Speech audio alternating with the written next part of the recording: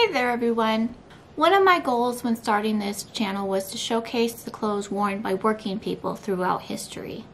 While I enjoy watching and learning about the clothing worn by royalty and wealthy people throughout history, recreating those clothes are not really something that I could see my rather practical self doing. I just, for me, it would feel like a waste of my time and fabric since I would have no use for them since, you know, my level of fancy is going to a doctor's appointment or the grocery store.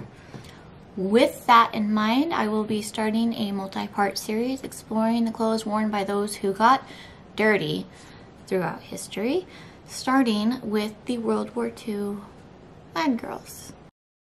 In 1941, the United States would enter the Second World War.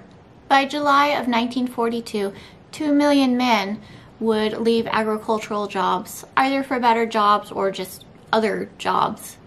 Ultimately, 6 million men would leave the agricultural workforce by the end of the war.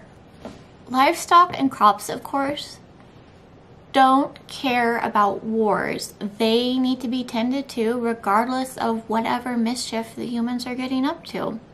The vacuum left by the men leaving for the war had to be filled. The Women's Land Army stepped in to help fill this void. Started during World War I, the British started the Women's Land Army, or WLA, with the US quickly following their example.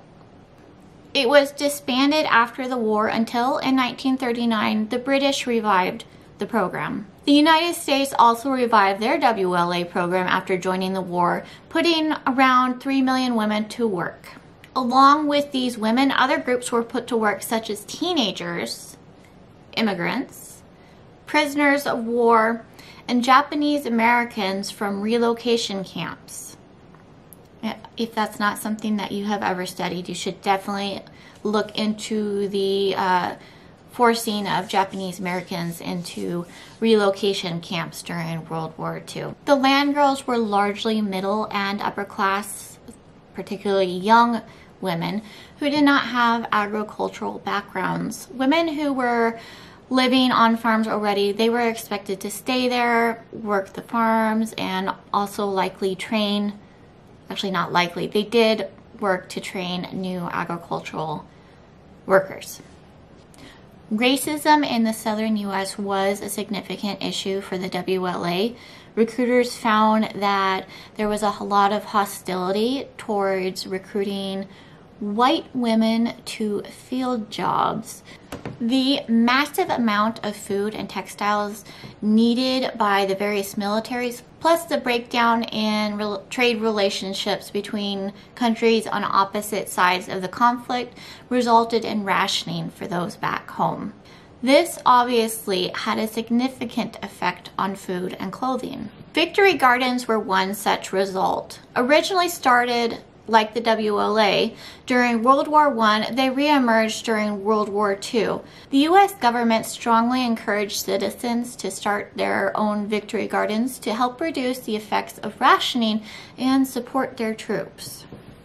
By their peak in 1944, victory gardens in the U.S. accounted for 40% of all produce consumed in the U.S. While clothing in the U.S. was not rationed like it was in Britain, the war still brought changes.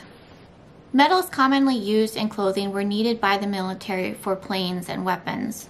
Silk and rubber, due to poor relations with Japan, the main exporter, were basically impossible to get a hold of. Wool was needed for uniforms and blankets. Nylon was needed for parachutes and tents.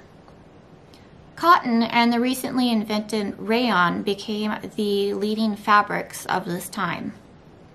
With France under German occupation, British and American fashion designers came to dominate the fashion scene in the 40s with styles that were fabric conscious and uniform like.